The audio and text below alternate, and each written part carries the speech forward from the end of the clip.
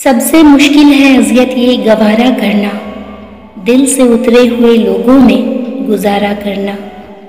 सारा शहर सनाशाई का दावेदार तो है, लेकिन कौन हमारा अपना है, वक्त मिला तो सोचेंगे।